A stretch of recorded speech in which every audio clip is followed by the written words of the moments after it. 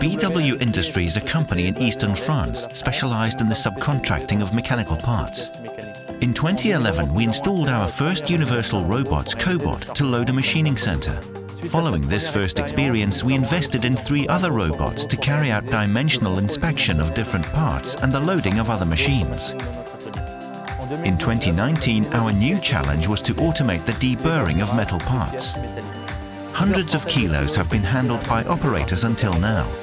From now on, the robot will handle these heavy parts and perform all of the deburring operations. The ideal tool for this application is the UR16E, the UR16E has enabled us to meet the diversity of payload and flexibility in design requirements. The feature that has been particularly effective for programming is the remote TCP function that allows programming with an external tool.